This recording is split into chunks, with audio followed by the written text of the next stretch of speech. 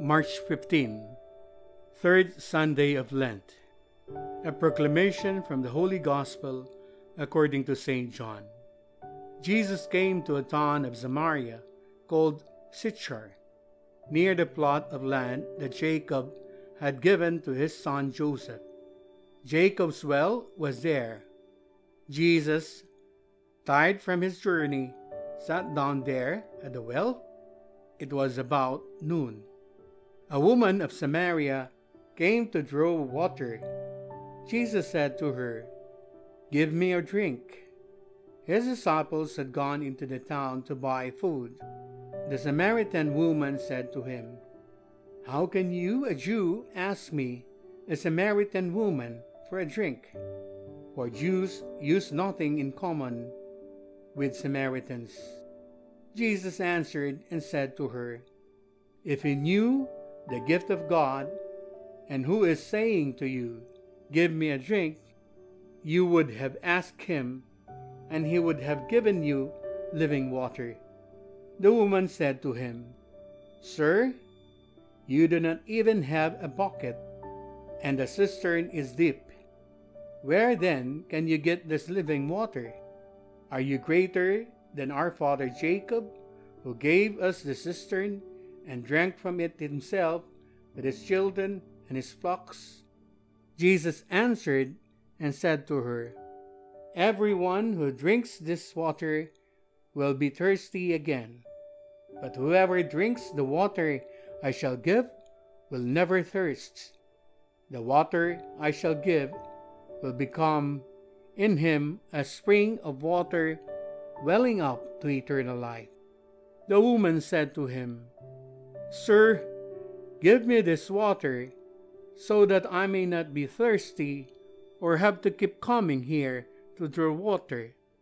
I can see that you are a prophet. Our ancestors worshipped on this mountain, but you people say that the place to worship is in Jerusalem. Jesus said to her, Believe me, woman, the hour is coming when you will worship the Father neither on this mountain nor in Jerusalem. Your people worship what you do not understand. We worship what we understand, because salvation is from the Jews. But the hour is coming, and is now here, when true worshippers will worship the Father in spirit and truth. And indeed, the Father seeks such people to worship Him. God is spirit, and those who worship him must worship in spirit and truth. The woman said to him, I know that the Messiah is coming, the one called the Christ. When he comes, he will tell us everything. Jesus said to her, I am he, the one who is speaking with you. Many of the Samaritans of that town began to believe in him. When the Samaritans came to him, they invited him to stay with them, and he stayed there two days. Many more began to believe in him because of his word, and they said to the woman, We no longer believe because of your word, for we have heard for ourselves, and we know that this is truly the Savior of the world. The Gospel of the Lord open to sincere conversion.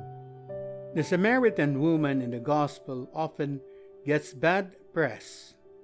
She is living with a man who is not her husband. However, Jesus sees the good in her and reaches out to her.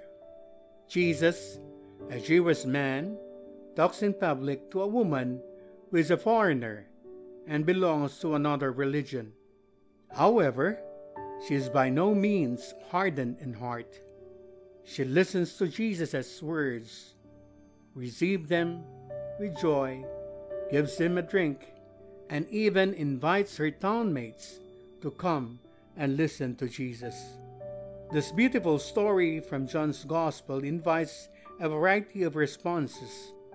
Can we see the good in the other people, even those who have been condemned by society?